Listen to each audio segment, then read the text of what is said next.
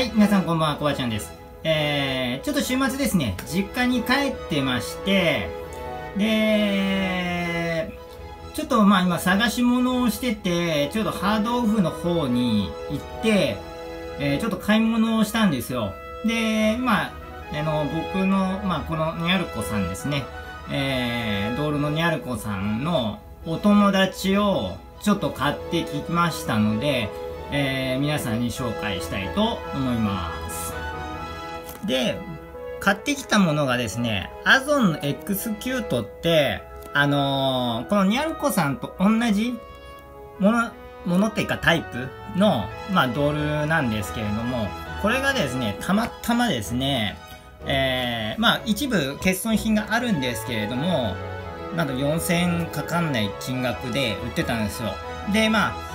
ものとしてはですね、まあ、使用感が若干あるっていうことで、まあ、ベレー帽が不足してるっていう状況なんですけれども、ちょっとまあ、あのー、ニャルコさんちょっと一人ではちょっとかわいそうなんで、まあ、ニャルコさんのお隣に、えー、飾れるようなお友達として、えー、買ってきました。じゃあ早速ですね、開けて、ちょっと物の状態とかですね、え確認していきたいと思います。でですね、えー、まあ、物はですね、えー、まあ、ドールさんだけっていう形なので、他の、まあ、付属品と、例えば手のパーツとか、えー、いうのは入ってなかったんですけども、特にですね、まあ、あの関節とかですね、お顔とかですね、特に欠損品とかなく、いい状態だと思います。顔は確か変えられると思うので、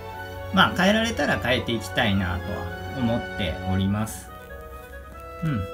状態もすごくいいので、こうですかね。うん。こんな感じ